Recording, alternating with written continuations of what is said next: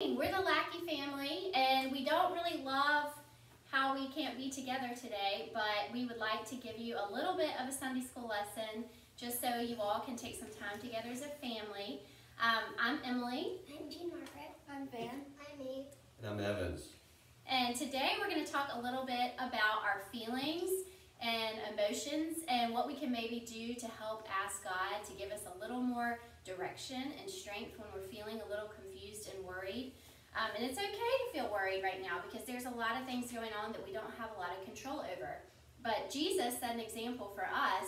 When he was feeling worried, he prayed to God. And so we're going to go over a couple different ways to pray today. And one of them is um, you probably have heard this before, but if you just have your hands together like this, all five of your fingers kind of stand for something. And so your thumbs, when you bow your head to pray, you can just remember, I need to pray for my family and those closest to me, that's your thumb. I need to pray for my teachers, because that's the pointer finger. I need to pray for leaders, because that's your tallest finger, because leaders have a lot of big choices to make right now. Your ring fingers, and you know how your ring finger is kind of like the weak finger? It's hard to bend it. Those are for the weak people. Remember to pray for the people who are sick or who um, might need some extra strength. And then your pinky is the smallest one. So that's the, the finger to remember to pray for yourself and whatever you might be feeling or needing. And so if you just put your hands together to pray and you don't know how to pray, that's a quick way to remember who to pray for. And Miss Christina is sending your mommies and daddies home with this little sheet to remind you about how to pray with the five fingers. Um, and then Abe has another prayer he likes to do uh, before he eats. Can you show us that prayer? Bless us, O Lord, and these thy gifts which we are about to receive from thy bounty through Christ our Lord. Amen. Amen. So some people like to pray just to express gratitude before they eat a meal. Um, let's see. So Van also has a little craft to talk about um, different emotions. Miss Christina will be sending this home to do with your families too. And it talks about all the different things you might be feeling right now. Um, one of the emotions on there is worry. Van, can you tell us about a time you were worried? When I was worried is when I many times changed schools and at the beginning of the school year, it was I, I was kind of worried. So and what did you do, um, or what do you think looking back on that you could have done to help with some of those worries? To help with some of those worries, I could pray to God and say, please help me make friends or something like that. Jeannie, how about you? Is there a time where you felt worried or sad or anxious? Um, when, uh, when I'm on my own and um, I need help on something and and I'm struggling really hard. And what do you think you could do um, if that happens again? I pray to God and, and say I need help to stop struggling and like know what to do. That's right. So in today's lesson, we're going to learn a little bit more about what Jesus did when he was feeling worried and anxious. Yeah, so Jesus has a lot of great stuff to teach us, and we're lucky that um, when we think about prayer, we wonder, you know, what kind of example Jesus could, you know, made for us. And when I think about it, I think about, okay, well, was Jesus ever worried? And the answer was yes. He really was worried, like like we are today about the coronavirus, for example. Um, what did Jesus pray about when he was worried? Well, in, in Luke 22, we get to, to read about that when he prayed on the Mount of Olives. And I'm going to read from, from Luke 22, uh, 40 right now. On reaching the place, he said to them, Pray that you will not fall into temptation. He withdrew about a stone's throw beyond them, knelt down, and prayed. And this is where Jesus was praying when he was really worried, just like us. Father, if you are willing, take this cup from me. Yet not my will, but yours be done. I'm going to repeat that. Yet not my will, but yours be done. So the first part of that prayer when, when Jesus was worried, and he was, again, really, really worried, just like us, he asked for something like, like we might ask for, like, um, help me meet some new friends at my new school. Um, the second part of the prayer, I think, is the most important.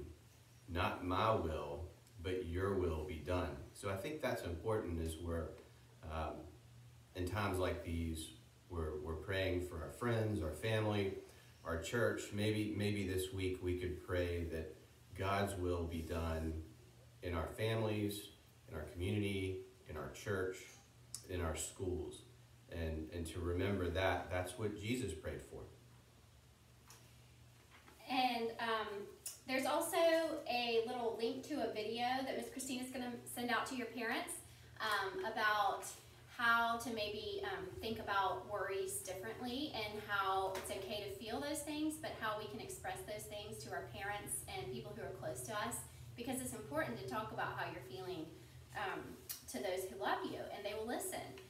And um, I also have another little craft. If your mommies and daddies have some string or a ribbon or anything around that you could make tie into like a little necklace or a bracelet and some beads.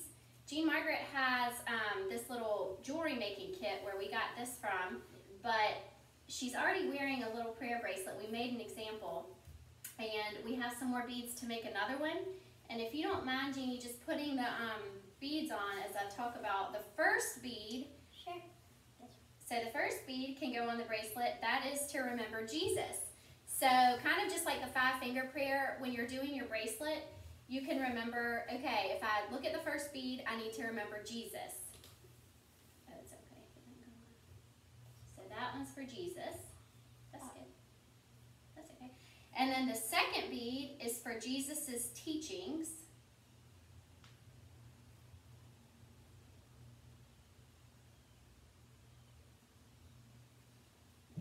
And the third bead is for Jesus's words.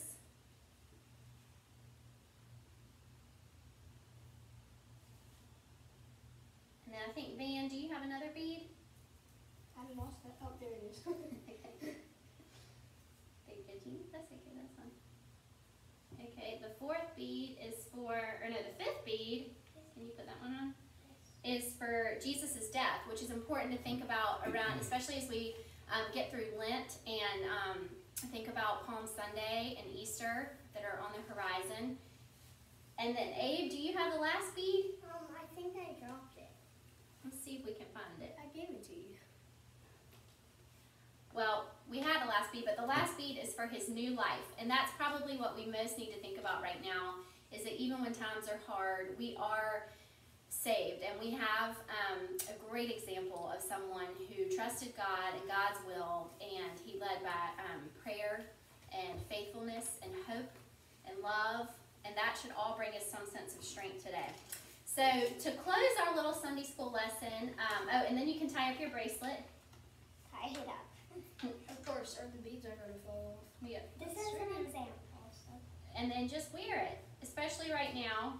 Um, it'll be a good thing to have on through this time. And Van is going to end us in a little prayer that he wrote. So can everybody bow your heads? Except Van, Cody. Dear Lord, thank you for the brave, bravery of Jesus our Savior, and help us to remember to pray when we are in hard times. Help us to do everything you ask and remember our Lent goals.